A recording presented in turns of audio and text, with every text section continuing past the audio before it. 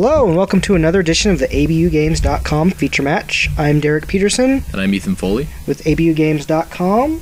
This was our F&M finals from d- uh, November 30th. We have Chris on the left. He's playing a, a Bant deck against Shannon on the right, who's playing Selesnya aggro. Pretty exciting stuff. Both lists have Armada Wurms in it, so we'll probably see some huge donks come down. Looking at the opening hands here, it looks like uh, Chris had uh, Sunpetal Grove, Temple Garden, Hallowed Fountain, uh, Silverblade Paladin, Clone, and Loxodon Smiter, while uh, Shanna was able to see she had Wolf- Wolfir Silverheart, Thragtusk, uh, Temple Garden, Sunpetal Grove, Sublime Archangel, and two cards I was not able to pick out. Looks like some Temple Garden pass action. Yeah, and then Hollow, Hallowed Fountain Pass, so both players Riveting action. riveting action so far. I would say the action is riveting. Showing off the Sunpetal Grove there. Four Ooh, passes in there's the an back. Armada Wurm in her hand. It's Totes Cray.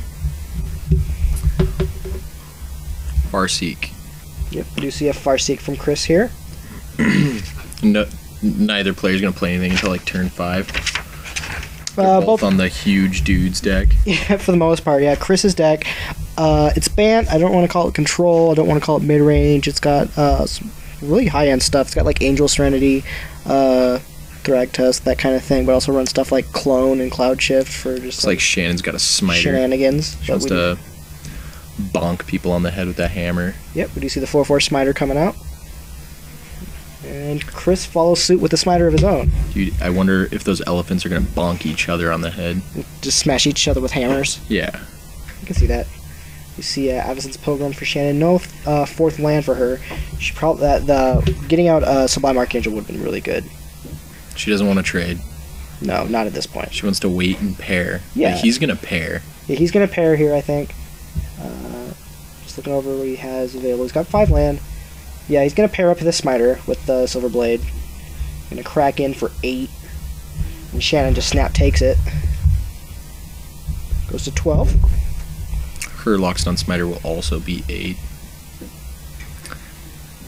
Uh, this is not shaping up too well for Shannon.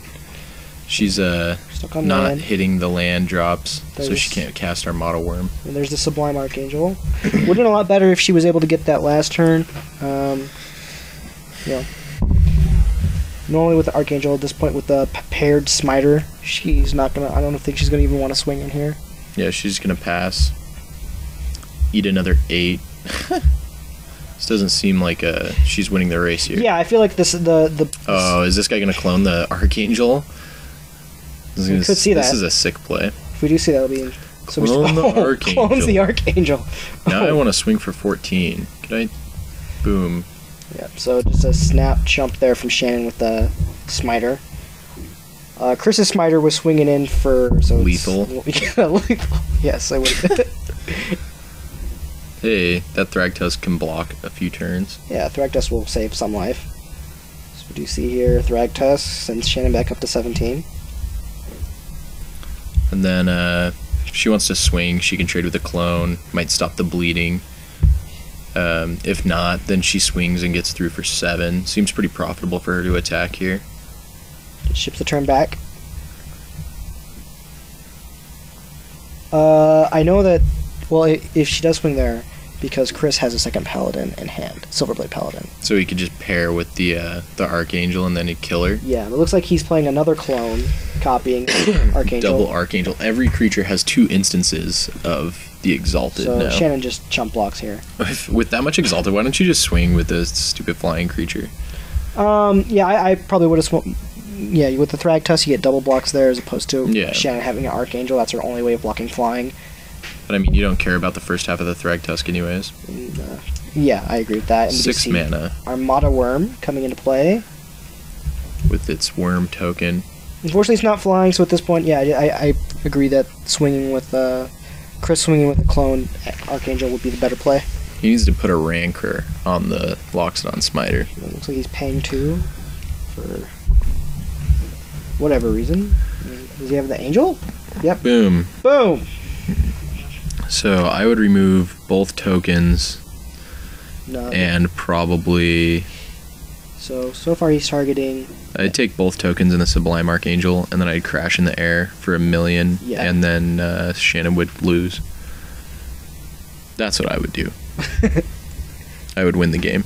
I think he's gonna win anyway, so. Uh, at this po- position with Shannon's lack of real removal in her deck, I feel like. Here he goes. He's swinging with the flyer. This is good. So he's getting uh, plus 10. Four, six, eight, 10, 12, 14 damage. Yeah, so he's swinging in for 14 here. Drop Shannon to three. Yeah. and that's Terminus. and I talked to Miracle Chris- Terminus. talk to Chris and Didn't like Miracle Terminus. the reason why he's She's main dead. he's main decking stuff like clone is for situations like this where if opponent gets out a, uh, a really high utility creature like an archangel, and then He's probably like, well, it's good to copy my dudes, but it's also good to copy theirs. yes, Yeah. A solid strategy. The clone. He has Thragtusk in his deck, doesn't he? uh, I believe so. Yeah, yeah, he runs three Thragtusk main. He's super good with Thragtusk. Yeah, A lot of these uh these Return to Ravnica standard games just are games of who has more Thrag Thragtusk. pairs Silverblade with the Angel of Rest- uh, Angel of Serenity. No, just going in Totally for the just going in for the blowouts here. Well, I mean, it's over. Yeah, Shannon's out was that he doesn't attack. Yeah. Shannon's like, okay, you had me. Yep, this was not fun. crazy board. Chris is able to take game one. We'll see if Shannon Shannon can bounce back for game two, or if Chris is going to take it in two. We'll be right back.